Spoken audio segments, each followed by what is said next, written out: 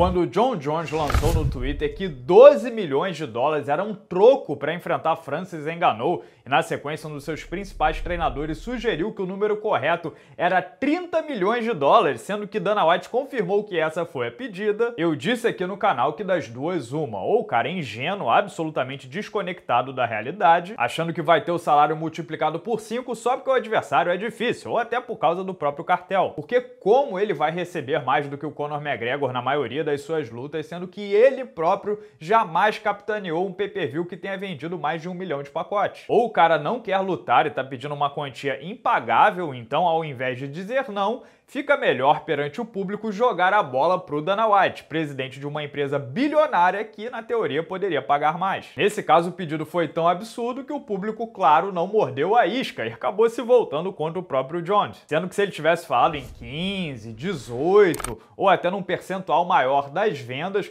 muita gente compraria o seu barulho e pressionaria o Dana White. O que tratei de descartar na época foi o lance do medo, porque não dá para acreditar muito que um lutador profissional de MMA, ainda mais alguém que está no topo da cadeia alimentar há quase uma década, se borra por outro cara de tamanho mais ou menos compatível. Só que a história que acabou ganhando contornos novos está ficando cada vez mais estranha. Parece que de bobo ou ingênuo Jones não tem nada e pode muito bem ser que ele esteja nos enrolando esse tempo todo. Enrolando por que você me pergunta? Ora, para ganhar tempo ou para fazer o seu nome circular sem a real intenção de competir como peso pesado. Tenham primeiro em mente que o papo de John Jones subir de categoria já circula há pelo menos 7 ou 8 anos. Isso nunca aconteceu. Detalhe, durante toda a carreira, pelo tamanho que tem, Jones sempre treinou com pesos pesados na academia, então ele sabe o que acontece. Aí em agosto de 2020, ou seja, há nove meses, ele vagou o cinturão dos meio pesados e anunciou que finalmente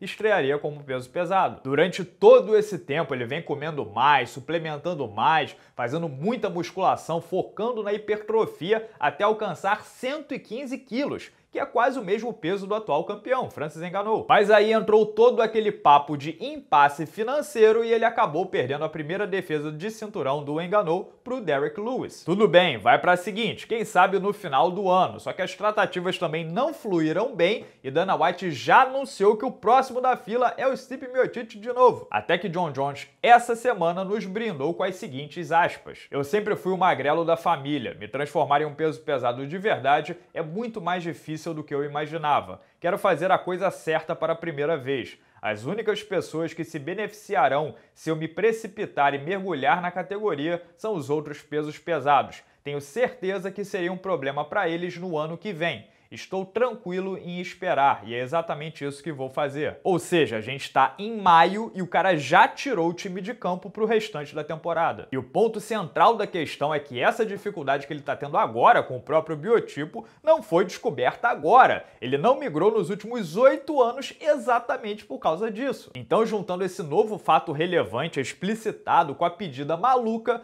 já começo a ver a história por outro ângulo. Ou Jones não gostou da cara do freguês, lembrando que ele vagou o cinturão e anunciou a mudança assim que o Miocic venceu o Cormier pela segunda vez. Ele achou que de repente, pelo nome que tinha, furaria a fila do Enganou e disputaria o título com o Miocic, o que não aconteceu. Aí quando o Enganou massacrou o Miocic, não dava mais para voltar atrás, ficaria feio. Foi quando surgiu a pedida surreal. Pode muito bem ser que o plano dele era vencer o Miocic ou até o Cormier, vestir o cinturão dos pesados e já picar a mula da categoria na sequência. Só para fazer história e depois voltar para onde o biotipo se encaixa melhor, mais ou menos como fez o Jorge St-Pierre contra o Michael Bisping. Vale lembrar que o St-Pierre havia prometido o jurado de pés juntos que defenderia o cinturão, e foi por isso que o Dana White topou fazer a luta. O primeiro da fila, inclusive, era o cubano Yoel Romero, e o, o St-Pierre, como a gente sabe, não defendeu nada. Então, com esse papo de 2022, John Jones ganha tempo. Vai que até lá Derek Lewis ou o próprio Steve Miocic vençam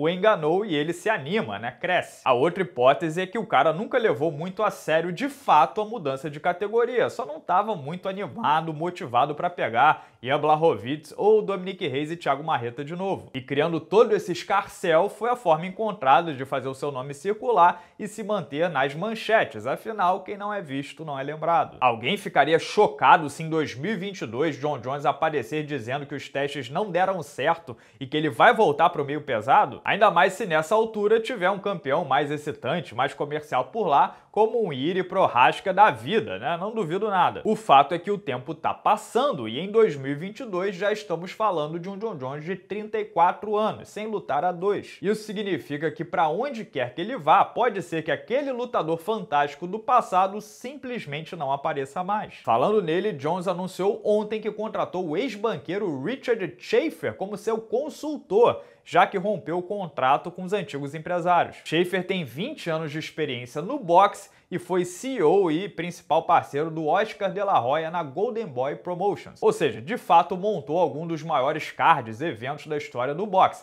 é esse cidadão que agora vai sentar com o Dana White para resolver a situação. Vamos ver então se a história muda ou se a gente vai continuar nesse chove não molha de quase uma década. E como sempre, pessoal, esses são apenas os meus dois centavos, o meu ponto de vista. O que, que vocês acham sobre toda essa história de John Jones no peso pesado que nunca vai para frente? Vocês acham que também, como eu, começando a ficar cético, que não vai rolar ou que tem alguma intenção por trás? Ou não, é isso mesmo, ele vai acabar lutando com o Enganou cedo ou tarde? Comentem livremente aqui embaixo no vídeo, se inscrevam no canal para não perder nenhuma resenha, para concorrer às nossas camisas, ajudar no crescimento do canal, ter acesso a conteúdo exclusivo e também participar de alguns dos quadros aqui, considere virar membro clicando no botão azul Seja Membro aqui embaixo. Não perca também a resenha de ontem, que eu falei sobre Habib Nurmagomedov ter negado meio bilhão de reais para fazer uma luta. Na verdade, ele negou duas lutas e tá batendo o pé, parece que não volta. Eu não sei se eu concordo muito com essa teoria. Para entender tudo, é só clicar no link